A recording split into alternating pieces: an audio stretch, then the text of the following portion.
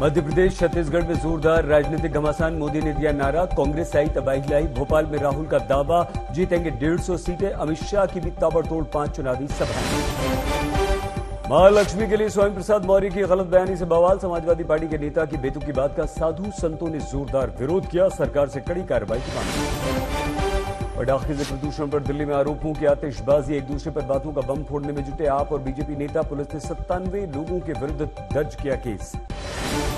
उत्तरकाशी के बाद टनल में फंसे मजदूरों को निकालने का काम जारी। पीएम मोदी ने मुख्यमंत्री धामी से बात की। सुरंग में फंसे हैं चालीस मजदूर। और त्योहारों के मौसम में आम आदमी को महँगाई से राहत, रिटेल, इन्फ्लेशन में गिरावट, मुद्रा स्फीति में भी दर्ज की गई कमी।